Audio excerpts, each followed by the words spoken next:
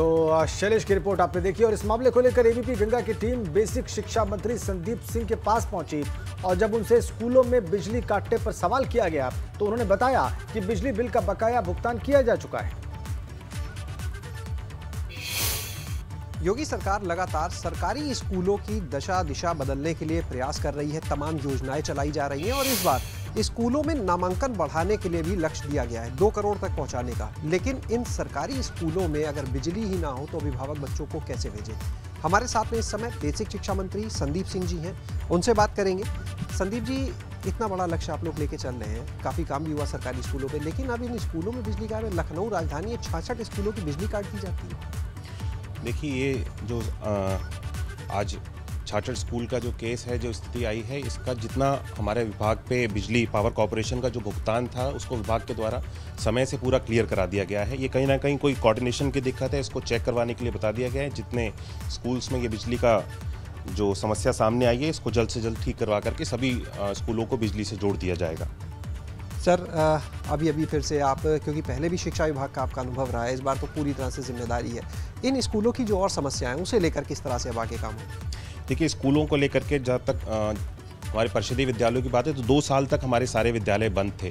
उससे पहले मिशन कायाकल्प के अंतर्गत सभी विद्यालयों की रूपरेखा, हर एक चीज़ की सुविधाओं से जोड़ने का एक बृहद अभियान चलाया गया।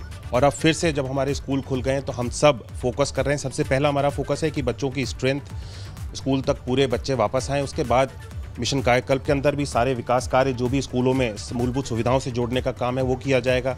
हमारे जनप्रतिनिधि जितने भी हैं, माननीय मुख्यमंत्री जी के द्वारा जैसे कि निर्देश दिए गए थे कि सब लोग एक एक विद्यालयों को गोद लेंगे तो माननीय मुख्यमंत्री जी की तरफ़ से सर एक, हर एक जनप्रतिनिधि को एक एक पत्र भी जाएगा, जिसके माध्यम से हर एक जनप्रतिनिधि एक एक विद्यालय गोद लें और अपनी निधि के माध्यम से जितनी भी मूलभूत सुविधाएँ हैं, विद्यालयों तक पहुँचाने का प्रयास करें। हमारा भी प्रयास है कि हम सब हर एक विद्यालय तक हमने लक्ष्य लिया है कि इस वर्ष पच्चीस हज़ार विद्यालयों को फर्नीचर और स्मार्ट क्लासेस की सुविधा के माध्यम से हम सब लोग जोड़ने का कार्य करेंगे। तो हमारा प्रयास है कि शिक्षा विभाग एक बहुत महत्वपूर्ण विभाग है जो कि एक प्रदेश की नींव को मैं कहूँगा कि बनाने के लिए अपना दायित्व निभाता है। तो हम सब मिल करके बेसिक शिक्षा इस विभाग को एक नई ऊंचाई तक लेकर के जाने का प्रयास करेंगे।